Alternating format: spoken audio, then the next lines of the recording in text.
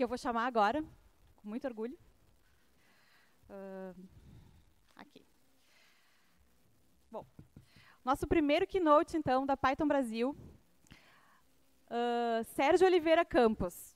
Eu vou ler aqui o, a descrição deles. Acredito que todas as pessoas o conheçam, né? Mas é sempre muito bom a gente lembrar, assim. Então, uh, aqui. Ele é o guru da comunidade Python brasileira, é programador e empreendedor com 11 anos de experiência em programação web e gestão de equipes em TI. Ele já trabalhou para a IBM, para o programa Intelligence do Senado Federal e, mais recentemente, no projeto do novo portal de software público. É membro da comunidade Python Brasil e cofundador da Associação Python Brasil. Atualmente, ele é CTO da Crave Found Services. Eu gostaria de chamar o palco aqui, então, mais uma vez, Sérgio Oliveira Campos.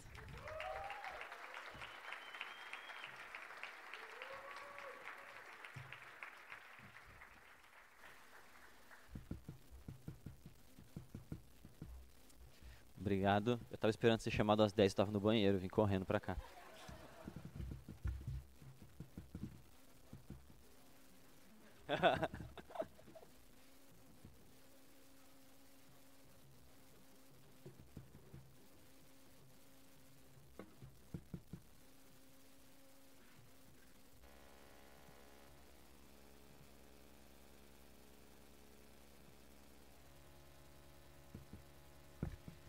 Bom dia, pessoal. É, essa não é a primeira Python Brasil palestrando, não é a primeira... Não é minha primeira... Eita, o slideshow está passando. Não, não vai acontecer isso. Não é a primeira vez palestrando pra, na, na comunidade Python, mas é, tá aqui na posição de keynote abrindo a conferência. Peito bate forte, é. É, é pesado? Pesa.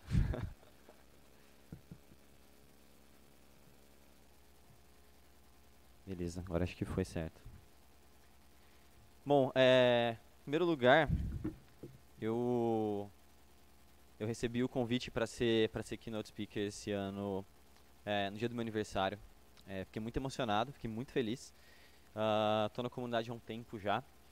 Minha primeira apresentação na comunidade foi na, na Python Brasil 2. Na verdade, é na 1, né? Foi em Brasília, mas foi a segunda. Como o Cadu falou, é, a PyCon Day em Campinas. É, a gente não contou. Então, apresentei lá. E mudou bastante coisa de lá pra cá, né? Nos últimos, nos últimos 10 anos aí. Então, vou falar um pouquinho disso também mais pro fim. É, para preparar essa apresentação, cara, nossa, que sufoco, porque muitos temas passando pela cabeça, ajuda de muitas pessoas queridas para tentar me ajudar a montar a apresentação. É, no fim, eu joguei três apresentações fora e comecei de novo e falei, vou falar de algo técnico porque é o que eu sei fazer melhor. E contrariando o que todo mundo fala, não escreva código em apresentação porque dá ruim, eu vou fazer isso. então, bom, vou falar sobre programação dinâmica e subproblemas sobre epófitos. Eu não traduzi o texto, o título, porque eu não achei uma tradução boa. Então, overlapping subproblems. Mas antes de falar do tema, é, sobre mim. Bom, sou programador, pythonista, estou na comunidade há um bom tempo, é, sou apaixonado por open source e tento contribuir sempre que, que eu posso, não só com código, mas com a comunidade e as comunidades que estão ao redor do open source. Não sei se tem mais alguma coisa para falar de mim, acho que é, é basicamente isso. É, Bom, pai, pessoal da minha família. Atualmente estou trabalhando na empresa, na Crave Food, Crave, Crave Food Services. Eu não consigo nem falar o nome da empresa, nervoso ainda. é, a gente desenvolve um sistema, uma plataforma para conectar produtores rurais com restaurantes e conseguir é, aumentar o alcance desses pequenos produtores. Atualmente a empresa está só operando nos Estados Unidos, mas a gente tem planos de vir para o Brasil no próximo ano. Uh, esse é o nosso time fantástico. Na, na esquerda, a foto do pessoal da equipe dos Estados Unidos. Na direita, o pessoal que trabalha comigo no escritório de Ribeirão Preto. E aqui embaixo, o pessoal que trabalha remoto. É, atualmente a gente não tem mais vaga remoto, mas temos vagas abertas. Temos vagas abertas em Ribeirão. Tem, aqui são as fotos do nosso escritório em Ribeirão. Então o pessoal se divertindo lá, aqui a rede vazia, né? Porque tá todo mundo trabalhando, então a rede só tá de enfeite. Mentira. A gente dorme todo dia depois do almoço um pouquinho. Na, a Letícia gosta do puff aqui. E a rede fica no sol, então atrapalha um pouquinho, mas no fim do dia é bom. É... Bom, pessoal, a gente tem a nossa comunidade local lá em Ribeirão também, o Grupo ARP. No começo, quando eu criei o grupo, é, falaram, mas espera aí, os grupais vão ser por estado, não por cidade. Já tem um SP. É, mas São Paulo está 400 quilômetros, o Grupai MG está mais perto de Ribeirão do que o SP. Então, a gente pode criar um, um nosso, né? Mas só criar a lista não funcionou. E então a movimentação do nosso grupo só aconteceu de verdade depois que o Marco mudou de Brasília para Ribeirão. E, e aí a gente começou a, a removimentar a comunidade, que hoje só funciona porque todo mundo contribui. A gente tem uma comunidade bem vibrante, bem legal lá em Ribeirão. E esse ano a gente teve o primeiro, o primeiro, a primeira edição do evento, o Caipira. Eu ia colocar no YouTube, mas eu tenho local, vou mostrar o local aqui. A gente teve o Caipira esse ano, o encontro de Python do, Mas tomei que o cara vai fazendo com o dedo do aqui. interior. Beleza, você, você, e você grita o samba, tá bom? Vá na frente, Luiz, depois eu vou. Bom? Tá a cabeça. Algumas fotinhas de como, o que aconteceu esse ano.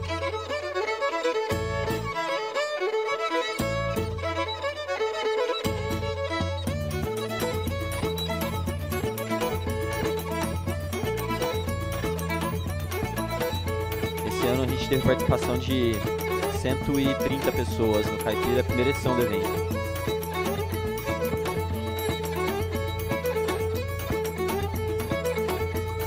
Teve carreta furacão no evento.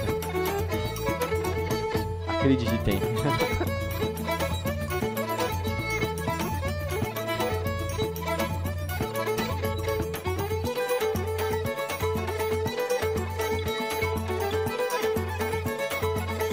Até o Homem-Aranha vestiu a camisa do evento.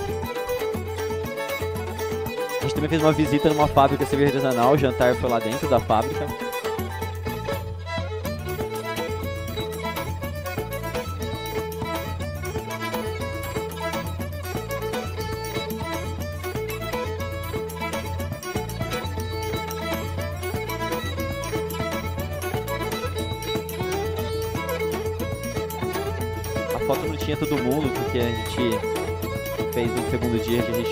Infelizmente.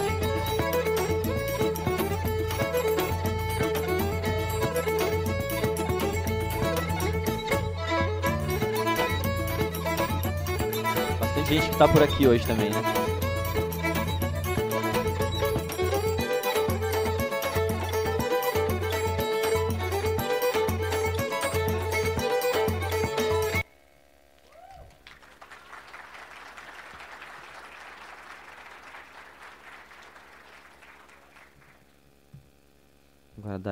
De novo com os slides.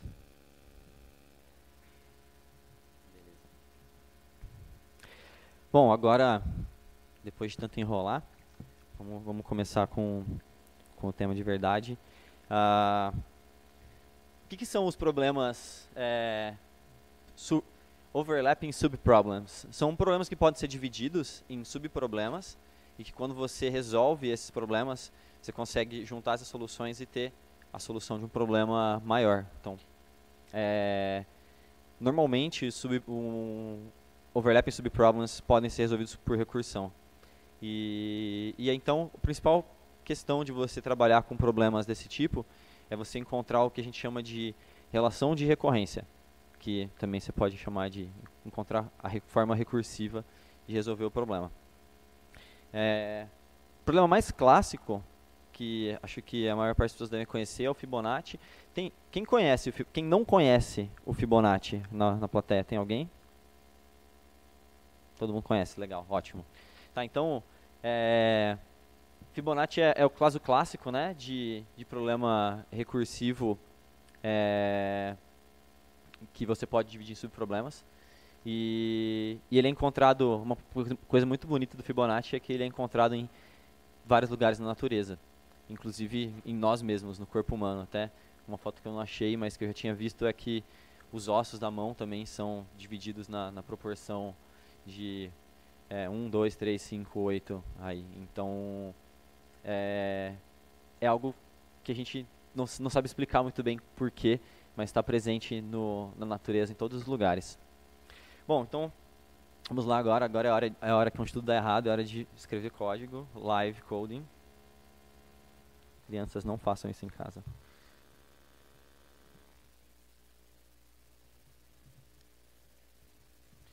Caso tudo falhe, eu tenho o código escrito em outra pasta, eu colo, tá bom? Mas vocês vão ver a cola também.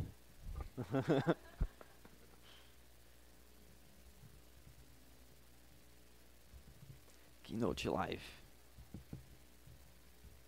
Tá dando pra ler? Tá bom? Aí no fundo, tá ok? Sim? Vamos lá então. Bom, pessoal, a forma, a forma mais tradicional de resolver o Fibonacci, que eu vou chamar. Oi? Opa. Ah, eu ia sobrescrever o arquivo. Aí eu ia perder minha cola.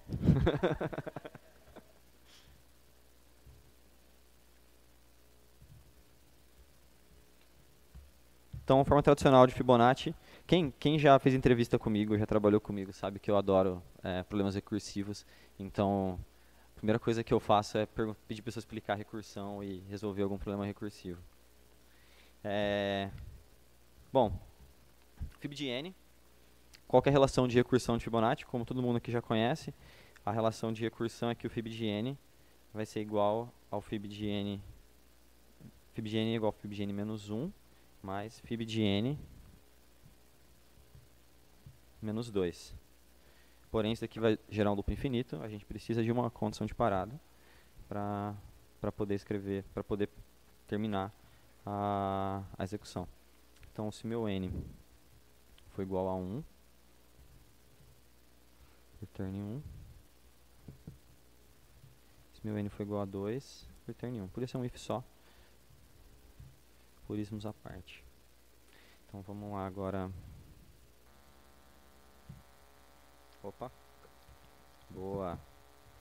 Eu fiz isso 30 vezes e estou fazendo errado de novo. Obrigado. Isso é legal de, ó, quem, quem nunca fez code em Dojo? É, tá, um live pair programming. Vou aumentar, vou aumentar.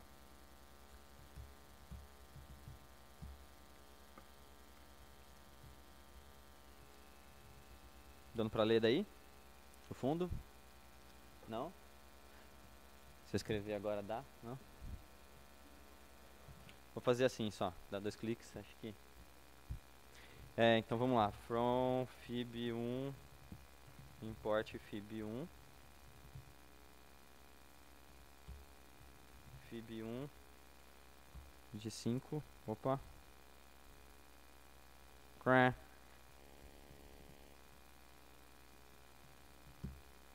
Tá certo. Tá errado? Acho que tá certo. Alguém, alguém tem, alguém tem alguma coisa? Tá certo? Beleza. Então vamos lá. Eu vou importar uma, eu vou fazer um, um cheat aqui e vou importar um decorator. Tá errado, tá certo. Decidam-se.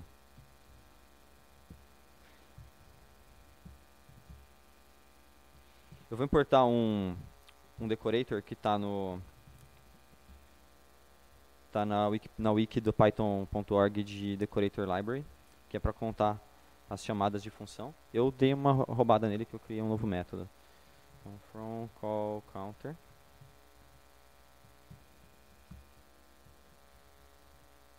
counter import count calls e a gente coloca esse decorator aqui count calls.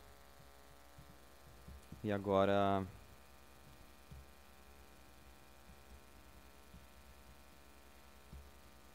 se eu perguntar fib de 1 ponto count, ele me fala quantas vezes a função recursiva foi chamada. Se eu fizer de novo e perguntar o count, ele, ele soma de novo. Então eu vou fazer fib1.reset, esse é o método que eu adicionei, que não tem no decorator. Acho que eu preciso atualizar lá o wiki da Python.org. Se eu perguntar o count dá zero, então agora vamos fazer para um fib de 30. Ó, já demora um pouquinho. Beleza, retornou o resultado. Count. Função foi chamada 1 milhão 166.079 vezes para conseguir calcular essa, esse, fazer esse cálculo. Beleza. Implementação 1, checked. Ou não, né? Tem, tem algumas pessoas discutindo ainda, o Windows está errado. Então, se estiver errado, tem algum erro aí. Mas a recursão está aí. É, eu imaginei que não ia dar para ler aqui. Então, eu também tenho... Nada como ter no VI seu, seu slide. Então, vai ser o overlap.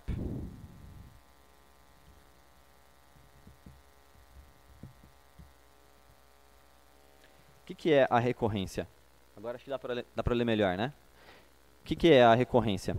Bom, uh, quando a gente fala de overlapping, quer dizer que a chamada daquela função com o mesmo valor é feita mais de uma vez.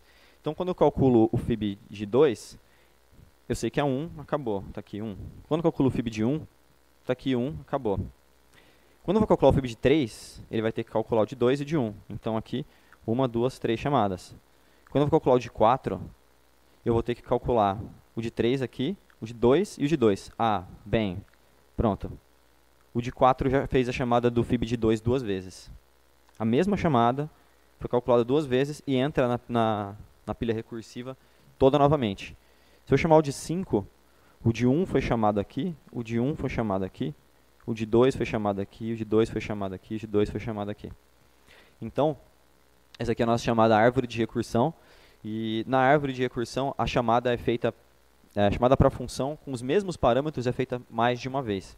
Então, a programação dinâmica é uma forma de você resolver problemas desse tipo sem você chamar várias vezes a função, reduzindo a complexidade da, do seu algoritmo de, de uh, exponencial para é, constante. Na verdade, não chega a ser constante, é NM no caso aqui. Então vamos lá agora, voltando para os meus slides. Função iterativa de FIB. Questão de tempo, tá ok.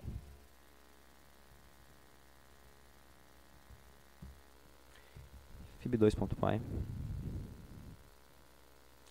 def fib2 de n. Bom, para a versão iterativa, eu vou precisar de uma lista, onde o fib, então, é, vou chamar de fib table, vai ter 1 e 1. Aqui no caso vai ficar um pouquinho diferente da outra, porque vai ser fib de 0 é 1, fib de 1 é 1 e fib de 2 vai ser 2 aqui. Acho que é isso que eu estou falando que estava errado na outra, né? Que tava, eu estava contando índice 0 e índice 1. Então aqui acho que o resultado vai ser um pouco diferente. Ambas, ambas as relações de recorrência são válidas para Fibonacci. É só se o seu índice começa em 0 ou em 1. Um. Uh, tá, agora, qual que é a questão? Se o meu FIB de... O meu retorno aqui vai ser FIB table da posição N. Então, se eu, entregue, se eu colocar fib de 0, ele vai retornar o 1. Se eu colocar o fib de 2, ele vai... Não, se eu colocar o fib de 1, ele vai me dar um 1 de 1 também. Se eu colocar o fib de 2, ele vai me dar um index error. Vamos lá.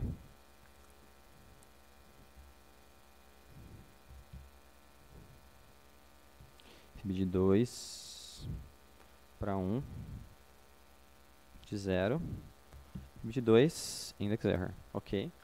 Então, esse é o famoso erro esperado. O que a gente precisa então? Se eu quiser fazer o fib de 2 aqui, eu vou ter que fazer meu fib table é, da posição uh, fib de 1 no caso, né? Fib de 1, 2, 2. Fib da posição 2 vai receber o meu fib table da posição 1 mais meu fib table da posição 0. Ok? Então, vamos lá de novo. Opa, de uh -uh. What is wrong? De 2 Ah, é append aqui, não é porque não existe essa posição.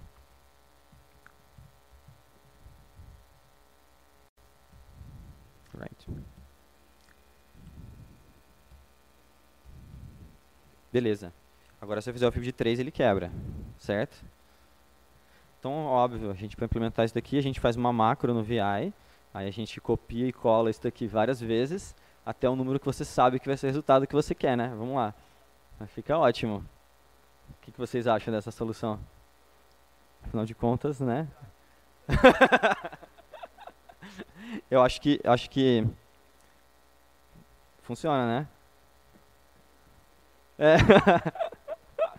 Agora, e o pior é que ela vai ser rápida, né? Só mais rápida de implementar. Opa, se não importar não funciona. Olha só, funciona até onde eu fiz, né? Opa. Então, se você for fazer um demo e não for mostrar o código fonte da função, isso daqui é o que a gente chama de prototipação para validação numa startup. Se seu cliente não vai ver o código, você tem que mostrar para ele alguma coisa que funcione. Você vendeu o produto, você pode fazer isso, tá? Funciona, é rápido. Mas aqui no caso a gente já conhece uma coisa que chama laço. Então, o que a gente vai querer aqui, agora vem a parte difícil, que é você saber se você quer o n, n mais 1. Tem, tem duas coisas difíceis em computação, da nome variável, é, invalidação de cache e errar por 1. Então,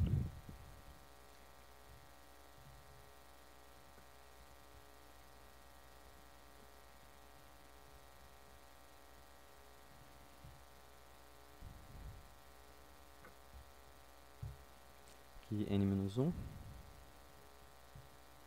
n menos 2. Opa, não, quer?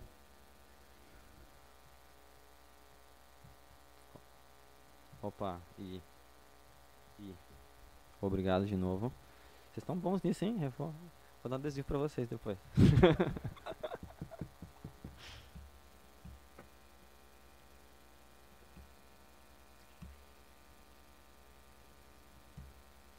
Acho que deu ruim. Oi? A fib, fib table da posição menos 1 que a gente quer, né? Que seria o de n, que é o que a gente está pedindo. Da posição 5, eu vou de 0. Vamos fazer o debug clássico.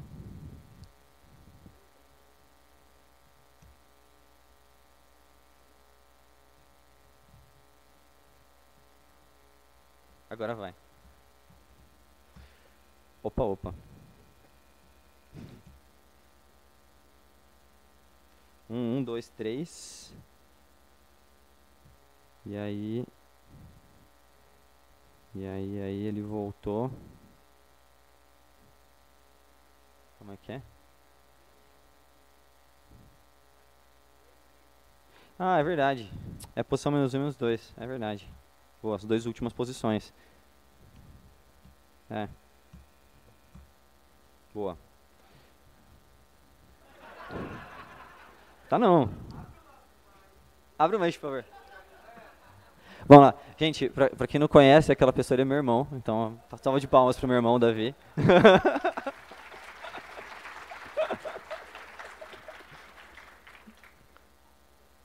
posição 0 é 1, um, posição 1 um é 1, um, posição 2. Oi?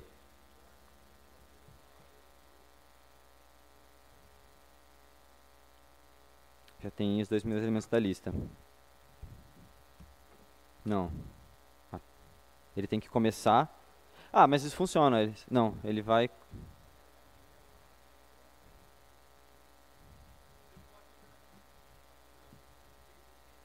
N, é. Como eu disse, crianças, não façam isso em casa. Beleza, agora. Um, um. Correto agora? Todos de acordo? Vamos lá, como estamos de tempo? Ok. Você começou antes, eu tenho 20 minutos a mais. Como é que é? De tortura para todos?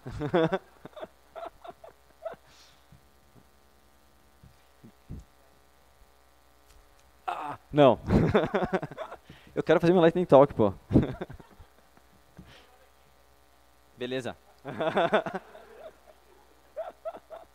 É, bom, função, função interativa. Quem acha que a interativa foi mais fácil do que a recursiva? Eis o ponto. Tem alguém aqui que acha que a interativa foi mais fácil que a recursiva? Você acha mais fácil? Então a gente tem quantas pessoas aqui no auditório? Umas 150? Acho que tem três pessoas levantaram a mão. Descrever, descrever.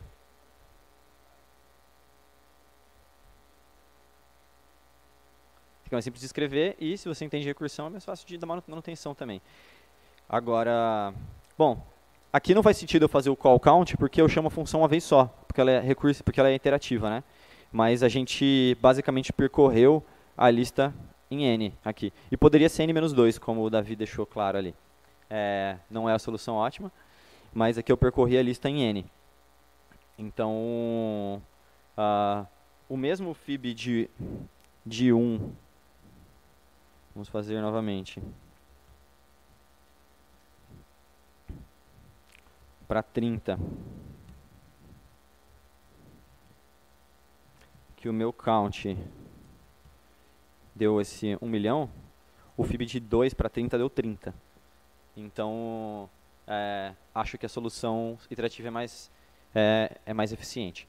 Porém, a recursiva é mais legível. Vamos lá. What if, se a gente usar cache? Como seria a implementação do FIB3 com cache, então? Tá, programação dinâmica, a gente acabou de fazer a implementação de, a implementação de programação dinâmica, foi essa, tá? A gente implementou, percorreu a lista toda, montou a lista e retornou o último resultado da lista. Isso é o, o resultado da programação dinâmica.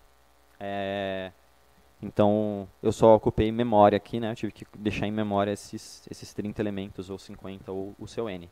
Então, você usou N de memória e N de, de processamento. Agora, em FIB3.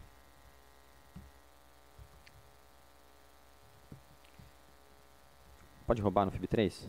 Vou fazer FIB1, FIB3, porque eu vou fazer uma recursiva com cache. FIB3.py, então vai ter o count aqui, o count calls. Mas aqui eu vou fazer um, uma constante cache. E aqui no começo eu vou fazer if n in cache opa, if n not in cache cache da posição n. Hum, fazer assim melhor. if in cache return cache de n. No começo. E aqui ah,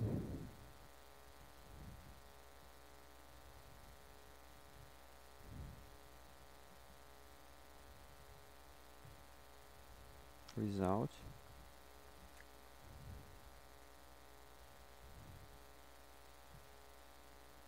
podia fazer com maior também, tá? Só para mostrar uma outra sintaxe legal, if n em 1 ou 2 vou mudar aqui para 0 1 para ficar igual a outra, a outra implementação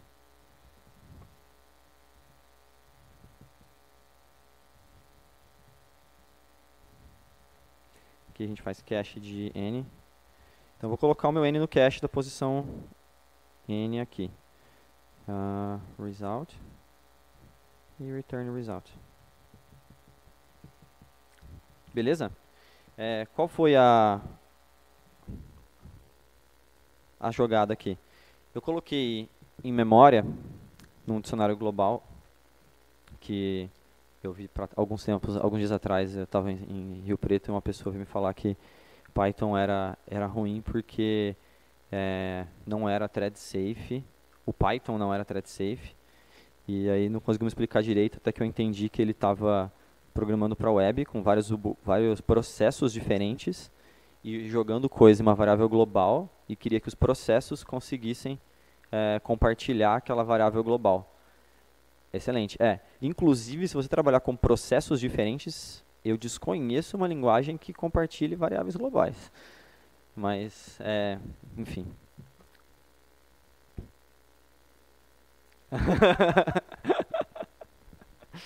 é, ok. Então, eu verifico se a variável está no meu dicionário. Se está no meu dicionário, eu retorno. Se não, eu faço o cálculo, coloco no dicionário e aí retorno. Ok? Então, vamos ver agora. Opa, qual que é o erro aqui agora? O nome da função. fib de 1 para fib de 3. Eu tinha feito tudo no arquivo só a princípio, mas o arquivo ia ficando meio linguiça e acho que para ler é mais fácil em arquivos menores. Só os importes que ficam um pouquinho chatos. Vamos lá. IPython import fib3, fib3, agora fib3, fib1 de 30, ah, tem que importar todos eles, né? 1, 2 e 3. fib1 de 30, vamos fazer mais uma coisinha aqui, uh, time it, menos O, R1. Então vou guardar o resultado aqui dessa execução. Demora um pouquinho.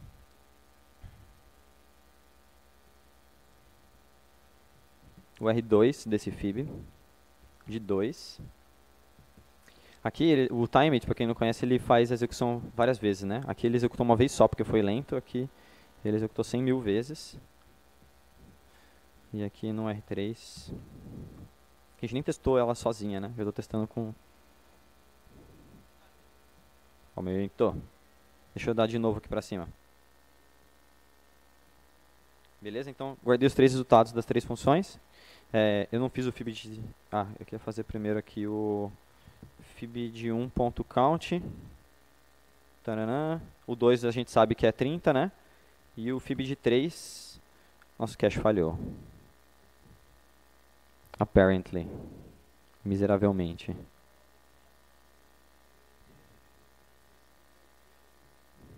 Ah, tá certo. Eu tinha que fazer o count fora do timeit. Então, obrigado de novo, Davi. Por isso que eu te trago.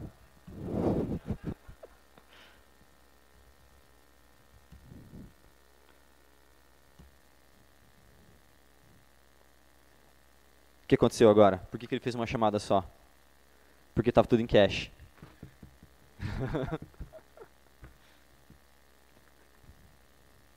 então, Aqui no caso, se eu quiser ver quantas chamadas ele vai fazer, eu vou ter que limpar. Vamos no import. E o count. Beleza, 59 vezes. Então foi 30 da, da iterativa versus 59 da recursiva uh, versus uh, 1 milhão, lá vai cacetada, da recursiva sem cache. Ok? Beleza, essa, essa solução aqui é é legal. A implementação dela foi fácil, mas o cache deixa ela um pouco esquisitinha. Então, o que, que, a gente pode, o que, que a gente pode fazer para melhorar isso daqui? Timing, ok. Oi? Pode falar.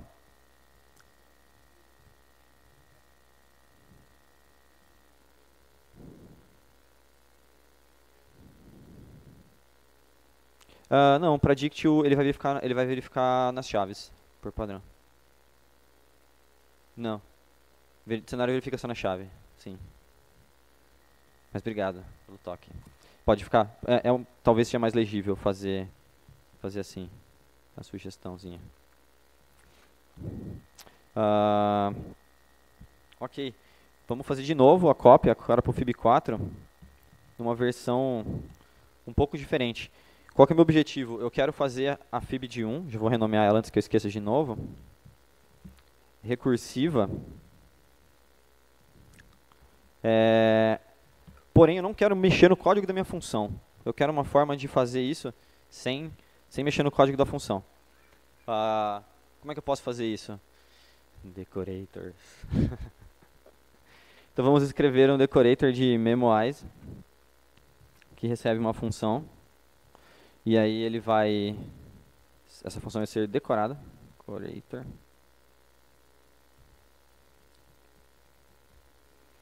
E aí aqui eu chamo a minha função. passando args. Eu estou passando KW args porque, na verdade, podia ser só n aqui.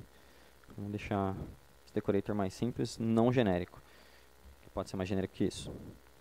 Return decorator. Bom, o que, esse decorator está fazendo? Absolutamente nada. ele, ele chama a função e retorna a função. É, onde que eu uso esse decorator? Aqui. Então, a minha fib4 vai ser substituída pela, pelo retorno da função memoize, que no caso é a função decorator, que no caso recebe a func, que eu vou chamar, que é a fib4, que no caso vai receber o n como parâmetro. Então, esse daqui é o caso mais simples de, de decorator que a gente pode fazer. É, vamos lá. Baby steps. Então, vamos ver se meu decorator que não faz nada funciona não fazendo nada.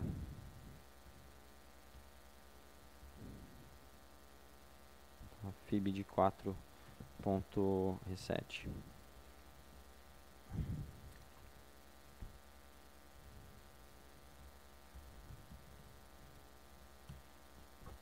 Tá, beleza.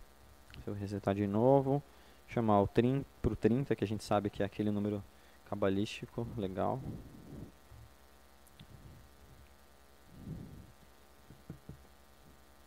Algo deu errado aqui.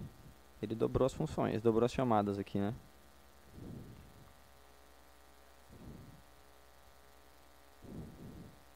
Não, se eu fizer ao contrário, ele fala que nem, não consegue chamar, creio eu.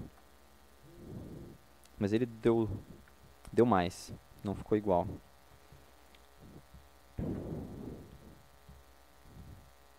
É agora que a gente usa cola.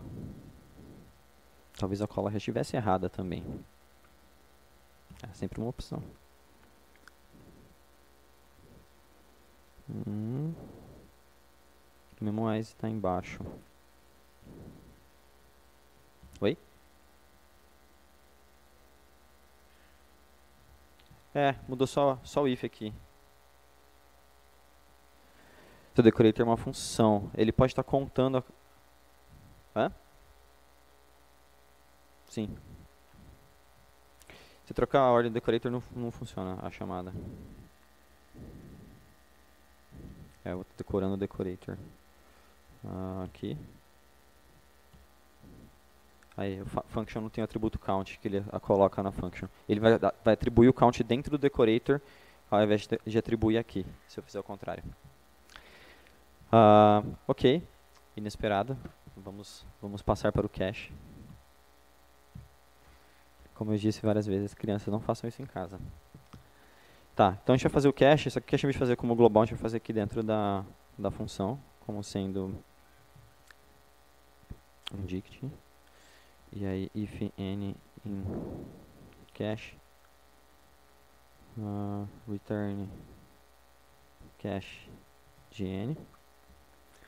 Uh, caso contrário, aqui eu vou fazer que eu posso fazer? If n fazer diferente. Not in cache cache de n. Recebe func de n. E aqui eu faço return cache de n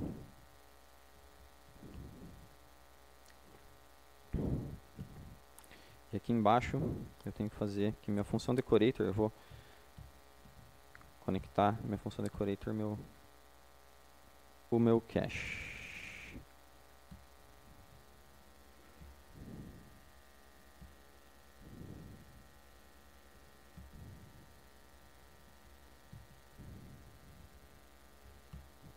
E agora 59. Exatamente o mesmo número de chamadas que a gente tinha no na versão com cache, só que aqui eu não tive que escrever a minha função. Não tive que mexer em nada na minha função. Aí legal pra caramba, mas tipo, vou ter que escrever um decorator para cada função que eu vou querer colocar em cache? Não. Uh, você pode escrever um decorator genérico, que funciona para várias para qualquer função, mas, se você pode escrever um decorator genérico que funciona para qualquer função,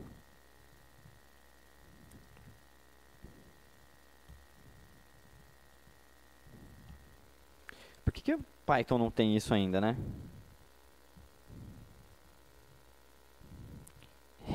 tem.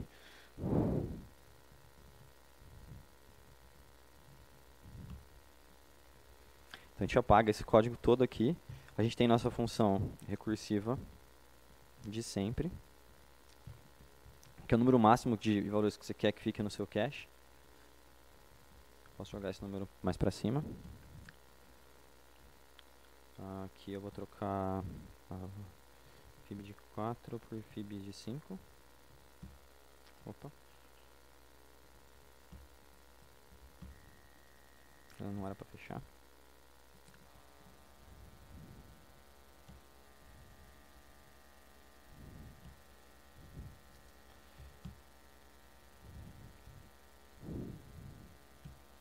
E a gente tem o mesmo resultado. Então, basicamente, é, eu implementei a função, a função recursiva, que, na minha opinião, é, é mais legível, é a, é a solução é, straightforward que a gente fala, né? Tipo, solução mais direta quando você pensa em um problema desse tipo.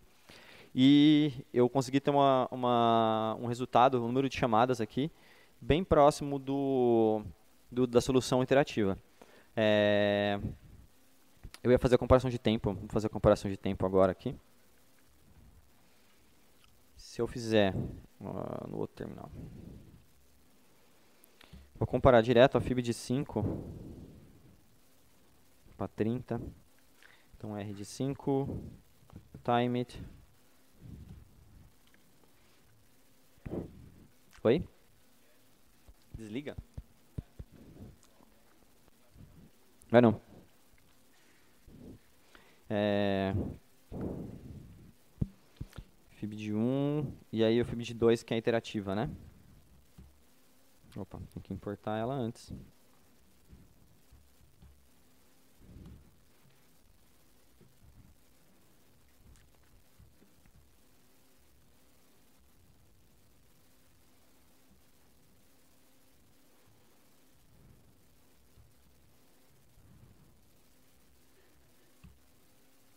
Tá?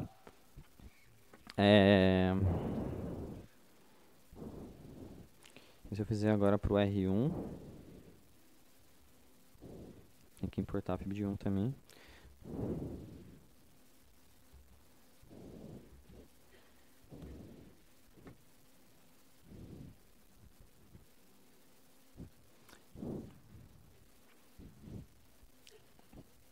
Agora vamos comparar aqui r1.worstResult com r2.worstResult. Bom, a implementação a iterativa ela foi 163 uh, mil vezes mais rápida do que a interação, do que a implementação é, normal. A iterativa, recursiva iterativa. Se eu comparar a recursiva com a recursiva com LRU cache do Python, ela é 33 mil vezes mais lenta. A, a, a função que usa LRU cache do Python, ela é mais rápida do que a iterativa, inclusive. Uh, duas vezes mais rápida, basicamente. E o que é surprising, mas não. Uh, porque a, a diferença aqui é que a gente está fazendo os laços em Python. E se você usar o LRU Cache, uh, ele faz otimização no nível de bytecode. Então, duas vezes é algo aceitável, é, é, é algo plausível. Então, basicamente aqui a, a ideia é mostrar que tem casos que você fazer uma solução recursiva, várias vezes eu já ouvi, solução, às vezes quando estou entrevistando alguém, a pessoa me fala, solução recursiva não serve para nada, porque você vai fazer ela e vai quebrar o sistema por causa de performance. Ok. Uh, tem N casos que solução recursiva é, me é melhor, vai usar memória, claro, aqui, mas se você usasse, usasse a iterativa, ela também estaria usando memória, você poderia fazer otimizações e limpando, mas uh, você precisa de, de, memória também. E, e a recursiva é mais straightforward, é mais fácil de você, de você manter, é a que todo mundo vai, vai de cara para ela. Uh, deixa eu ver aqui, eu tenho mais 15 minutos, é isso, basicamente? Eu tenho mais 15 minutos, é isso? Ok. Uh, ah, 10 minutos? Ah, que legal. Tenho 10 minutos. Então, assim, eu mostrei a parte fácil, eu vou mostrar a parte difícil agora, que é uma, uma outra forma de você usar programação dinâmica, que é a distância de edição. Então, você pega duas palavras e vê qual que é o número de diferenças que essa palavra tem. Ah, super, super útil, corretores ortográficos nos celulares usam isso o tempo todo e, e faz uma, uma diferença violenta na, na implementação. Acho que eu vou só, em vez de escrever aqui agora, eu vou então ir para o não live e vou abrir o algoritmo editdistance.py Ah, tá. Basicamente, para você fazer isso daqui, aqui só é a matriz de memorização. No caso do Fibonacci, a gente usou uma lista, né? Para poder achar o resultado. No caso de, de distância de edição, você tem duas entradas, string 1 e string 2. E aí você quer comparar quantas coisas tem, quantos, quais são as diferenças, quantas são as diferenças entre a string 1 e a string 2. Então, para isso você tem que montar uma matriz. É, essa matriz é uma matriz de memorização, no outro caso ali era só um- uma lista de memorização, no caso do Fibonacci.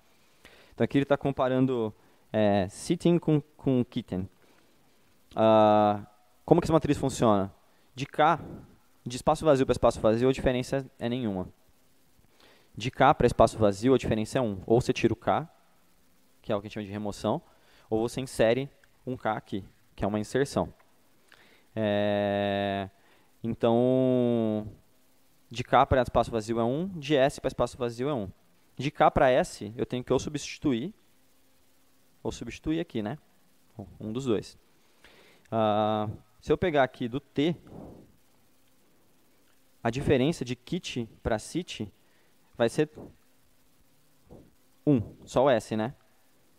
Então, ele mantém aqui, né, o K daqui para o S. Ah, o K aqui com S é 1, o I com I continua sendo 1, porque o I é o mesmo. Então, se não, não mudou a letra, eu não mudo a distância. Não mudo a, a quantidade aqui. Então, aqui é T de novo, T de novo, T de novo. Aqui é E e I, então mudou. Então, aqui é o 2. Ah, e as palavras têm tamanhos diferentes, né? Então, ele vai na diagonal, só que aqui no fim ele tem que vir para cá. Ah, e aí o meu resultado, a distância de edição dessas duas palavras, é o 3. Então tem três letras diferentes entre as palavras. Se eu quiser comparar kit com sitting até aqui, vai ser esse daqui. Então é um problema recursivo também. Eu posso olhar submatrizes. Eu posso olhar essa daqui, ou essa matriz que termina aqui no meu cursor, ou essa, ou essa, ou essa, ou essa. É... Legal. Então, se eu conseguir montar essa matriz, eu consigo resolver esse problema aqui com 3, 6 letras aqui, 3, 6, 7 letras, uh, 6 e 7, 42 aqui. Então, 42 interações, eu, eu resolvo essa, essa recursão, essa implementação aqui que seria recursiva. Né? Ok. A implementação não recursiva da, da distância de edição, ela vai verificar a, a implementação recursiva. Se o tamanho da string 1 for 0, a distância vai ser o tamanho da string 2. Então, se eu estou comparando sitting com nada, a distância é tudo, 7. Se eu estiver comparando kitten com nada, a distância vai ser o tamanho da palavra, 6. Então, aqui eu tenho duas condições de parada aqui que não chamam recursão. O tamanho da string for 0, a resposta é o tamanho da outra string. E aí eu chamo minha recursão. Se a última letra das minhas strings forem iguais, que é o caso aqui, kite, kite, por exemplo, aqui tem com sitting, o kit com sit até aqui, o t é igual. Então, o que, que eu faço? Eu falo que a distância de edição vai ser a mesma que a anterior, kit e sit. Eu volto um e um nas duas palavras. Então, aqui a distância de edição é essa. Aqui o i, o i é igual ao i, então eu volto para cá. O k e o s são iguais? Não. Então agora eu tenho que fazer uma coisa diferente. Se não, seria aqui, se eles forem iguais também. Então esse daqui é o caso onde ele não muda a contagem. E aí vem a, a recursão complicada, que é onde entram as, as a, relações de recorrência. A relação de recorrência da distância de edição é essa bonita aqui. Então, é, basicamente, ou eu vou ter que inserir uh, um caractere, ou eu vou ter que remover um caractere, ou substituir um caractere. E a distância de edição, nesses casos, vai ser a menor entre as três. Eu pego qual que é a menor delas, por isso min, eu chamo a recursão três vezes, pego a menor delas e somo um, porque deu uma diferença, né? Se é diferente, tem que somar um. Então, vamos ver isso, isso daqui funcionando agora, então.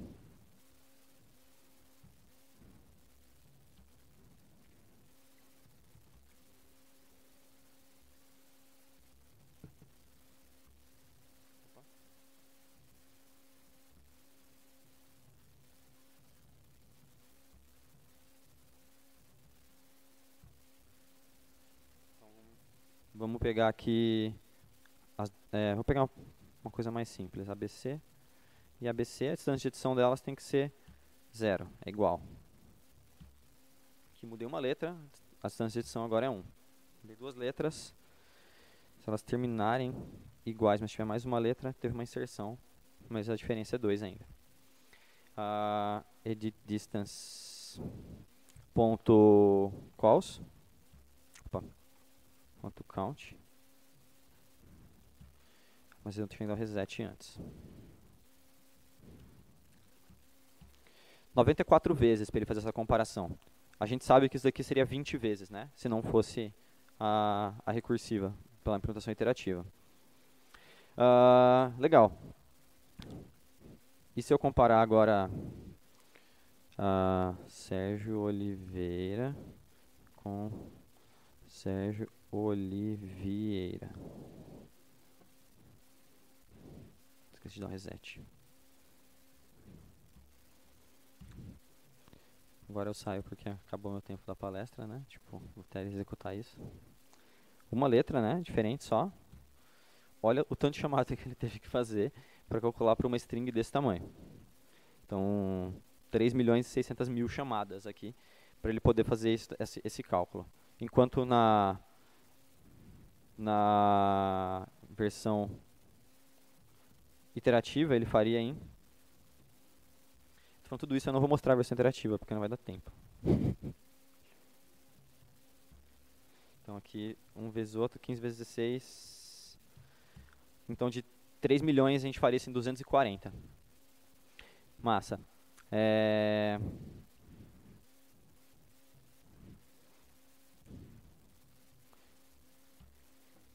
eu posso fazer a mesma coisa com o Cache Decorator. Aqui eu escrevi o Cache Decorator para mostrar que, o, no caso aqui, você pode usar uma tupla para ser a chave do seu cache.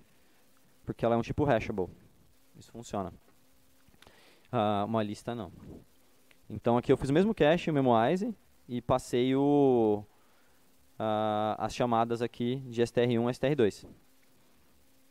Tá? Então, Vamos ver quantas chamadas esse cara vai fazer.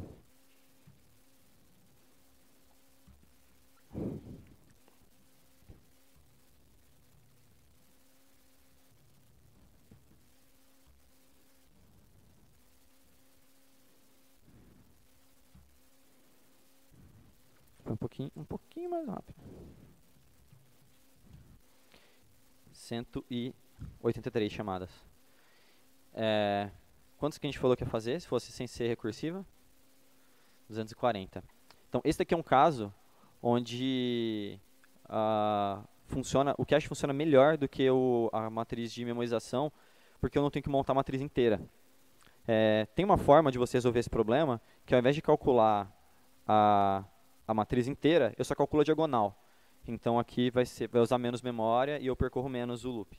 É, eu posso, tem casos que eu posso calcular a diagonal e as proximidades da diagonal, que é um algoritmo que chama banda de Sakoi-Shiba, é, que serve para você poder calcular coisas para série temporal. Então, tem, dá para aprofundar mais no tema aí. Uh, tá, a, a, mas tem um probleminha. A implementação recursiva usa recursão, né? Recursiva. Porém, tem, o Python tem um limite de, de profundidade de recursão. Então, dependendo do tamanho do que você vai fazer, é, a, a, solução recursiva vai ser mais rápida, é, vai ser mais legível, porém, ela não vai ser factível em Python, a não ser que você recompile o seu Python mudando o limite o, o limite de recursão dele. Que eu não lembro qual que é. Alguém, alguém sabe qual que é o limite de recursão default do Python? Mil alguma coisa, né? Dez mil? Não é muito não, é, ele estoura rápido. É, então, esse é um, um pequeno problema aí. E para soluções de palavras, é, vou mostrar rapidinho aqui a, interativa. Edit Distance 3, tem mais coisas para falar ainda. É, eu monto uma, uma, uma, matriz, né? E, e aí eu coloco na posição, se a posição de i for 0, eu coloco o j, onde i é o tamanho da, da, da string 1 e j é o da 2, né? Se for 0, eu coloco de j. Se o i for 0, eu coloco j. Se j for 0, eu coloco i. Uh, se a última letra da, da, minha string, da minha matriz atual for igual à anterior, eu pego a diagonal anterior, que é o que eu mostrei ali na tabelinha também. Se não, eu pego e faço a tabela da posição da diagonal anterior, ou a da, da lateral diagonal, ou da, da parte de cima da diagonal. Se vocês olharem esses códigos, comparando, é aqui é basicamente a chamada recursiva. Então essa é uma característica de programação dinâmica. Você faz os fors e você substitui a chamada da função por uma matriz, que você só constrói, os valores iniciais da matriz são bem importantes, que você constrói é, previamente e você substitui a chamada da função pela matriz. É, ela é uma forma de cache também, só que você constrói o seu cache antes. E aí no fim retorna o, o valor final da matriz. É, é uma solução que, que vai funcionar para a maior parte dos casos, porém é uma solução que usa muito, muito mais memória também. Eu vou ter que colocar todas as posições da matriz em memória. Uh, legal isso, mas tipo, corretor ortográfico é massa, mas as palavras têm até 10 caracteres, sei lá. Dificilmente tem palavras com mais de 10 caracteres. Existem, existem, mas hoje em dia ainda no, no celular a gente abrevia tudo. Então, é, o custo computacional disso daí com o cache é aceitável, uh, ou até sem o cache você pode usar. Mas imagina quando você está fazendo alinhamento de sequências de DNA, que usa o mesmo algoritmo de distância de edição. Uh, os genomas têm gigabytes, tem arquivos de gigabytes. E aí você quer fazer esse alinhamento de sequência usando usando a programação é, recursiva. Hum, no way, não vai rolar.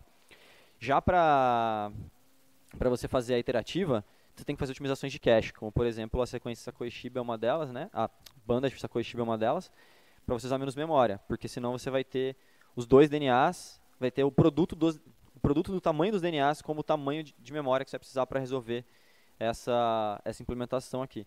Então, tem como você é, melhorar todas essas coisas. Então, mais algumas utilizações que a gente pode ter, né? É, outra muito legal é o Dynamic Time Warping, uh, que é para sequência de sequência temporal. Então, temporal que não é Jéssica. Jéssica temporal, para quem não conhece, o, o pé de pano. é, bom, vamos imaginar aqui que esse azul aqui é um movimento de um controle do I. Então, eu em algum momento no jogo eu preciso fazer assim, e aí assim, e aí assim, e aí assim. Só que como eu sou meio descoordenado, eu fiz o vermelho, não fiz o azul. Se o I não tivesse um algoritmo interessante tipo, para melhorar a jogabilidade, eu teria basicamente morrido no jogo, tipo, zerado a pontuação do jogo, né? É, ao invés disso, o, existe um algoritmo que é o DTW, Dynamic Time Warping, que você consegue pegar e ver qual é a intenção ali. Você faz o matching da, da série temporal. Então, ó, a, quando eu fiz aquele morrinho para cima, a minha intenção era fazer aquele azul ali.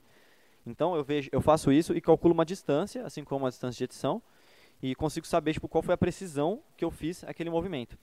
É, ao invés de dar um zero, que ele daria aqui se eu fizesse uma, uma distância euclidiana convencional, é, ele vai me dar uma, uma proximidade bem grande aqui. Se eu não me engano, no caso desse gráfico aqui, ele deu um 89, o que para um jogo é interessante.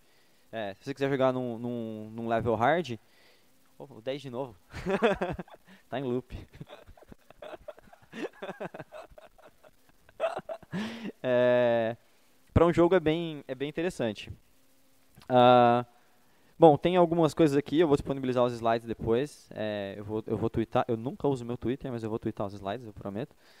É, tem algumas outras, alguns outros recursos aqui. Tem uma aula legal do MIT sobre, sobre o tema de programação dinâmica.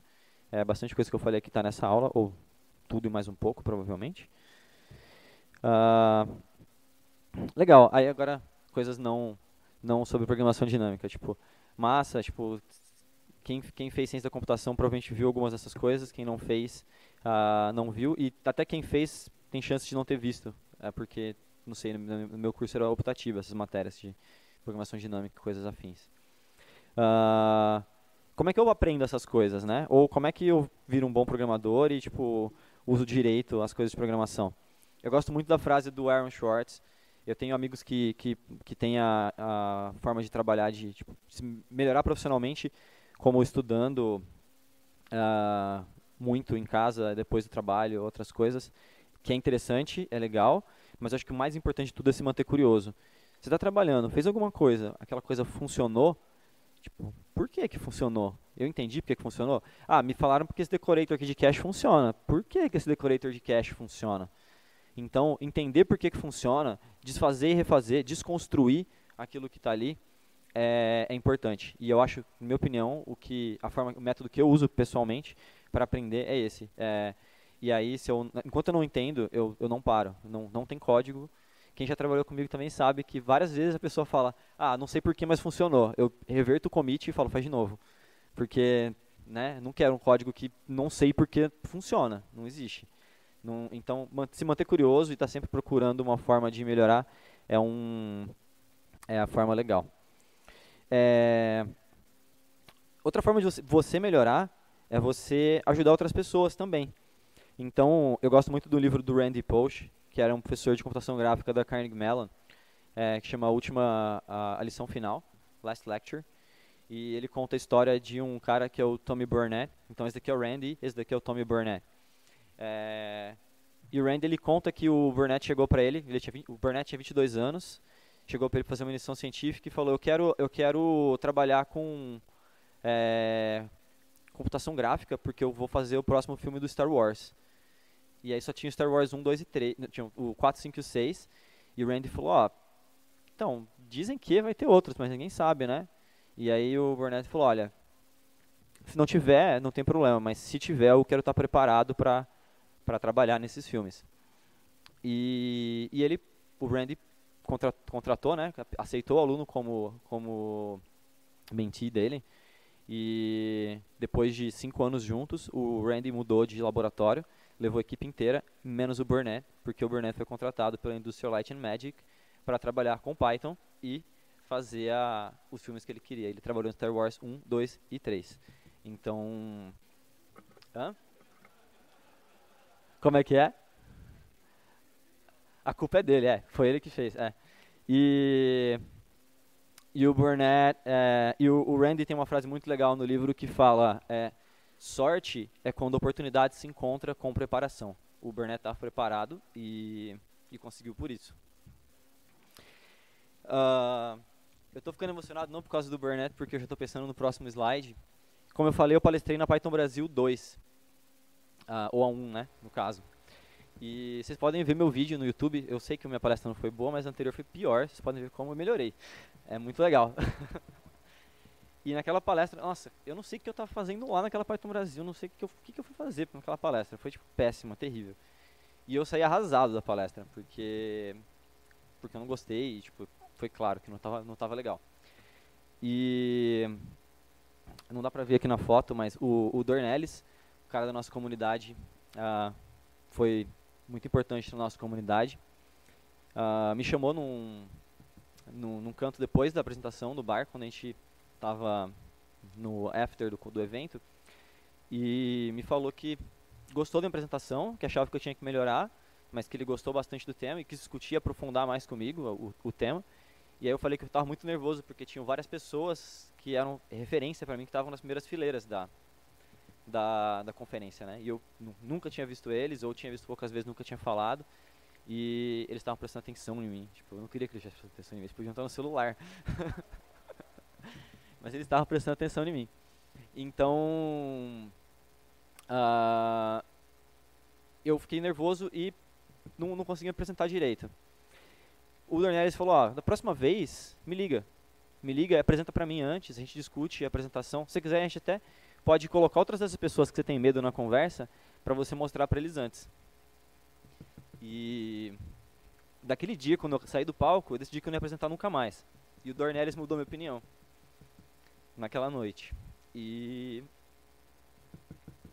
toda vez que eu falo dele, eu fico emocionado, é difícil pra caramba. Então, ajudem outras pessoas também. É, deem a outras pessoas a oportunidade que o Dornelles deu para mim de, de poder contribuir e ajudar a melhorar o que a gente tem, porque são através das comunidades que a gente constrói um mundo melhor. Pode parecer pouco, a gente está aqui trabalhando com Python, se ajudando em código, mas isso vai fazer diferença e faz diferença, bastante. Uh, um segundo.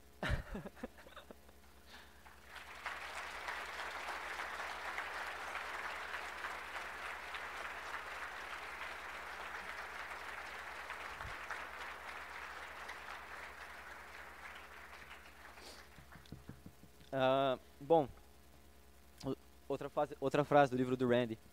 Os desafios, os muros não estão lá para nos impedir de entrar, os muros estão lá para nos mostrar o quanto que a gente quer aquilo. Então, não encarem desafios como algo ruim, encarem os desafios como algo que que pode ajudar vocês a crescerem e, e serem melhores e mostrarem o quanto vocês querem aquilo. Uh, bom, acho que é isso. Obrigado.